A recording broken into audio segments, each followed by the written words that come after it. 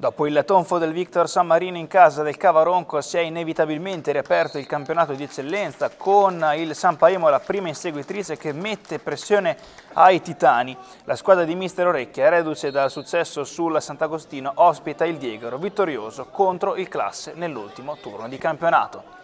Andiamo con le immagini al 27esimo, sono gli ospiti a rendersi pericolosi con questo corner ribattuto il pallone che torna tra i piedi di Lorusso, il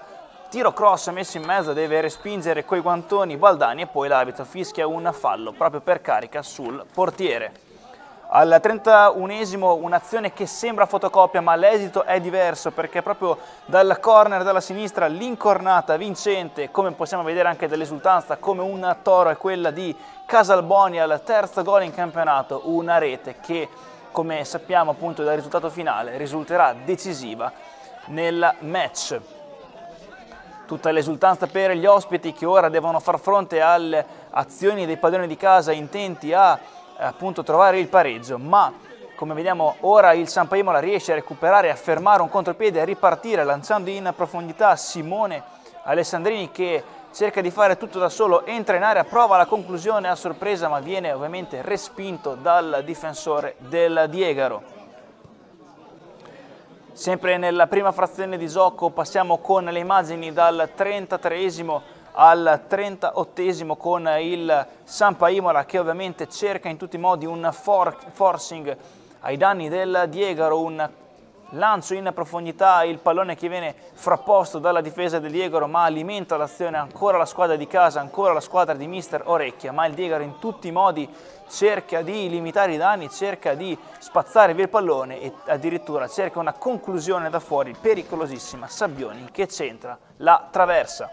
Nella ripresa però ancora il Diegaro pericolosissimo da calcio d'angolo, questa volta con panza volta il salvataggio arriva sulla linea per quello che poteva essere il raddoppio dei Cesenati,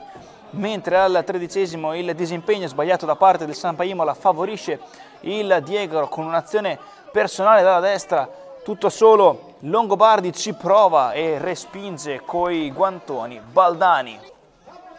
Minuto 25, il Sampo Imola alza il tiro con questo cross messo in mezzo, la respinta della difesa, poi ancora il pallone che rimane lì, il tiro in seconda battuta realizzato da Simone Alessandrini che esce di poco.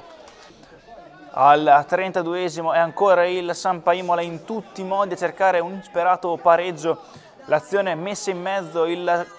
tiro in scivolata tentato da Simone Alessandrini che non riesce però a trovare la conclusione vincente mentre proprio sul finire di gioco siamo infatti negli ultimissimi minuti di recupero addirittura al 52esimo il forcing finale da parte del Sampa Imola, il cross messo in mezzo, la conclusione di Carbone che esce di poco e arriva proprio in questa azione il triplice fischio del direttore di gara che sancisce la vittoria del Diegaro sul campo del Sampa Imola per 1-0.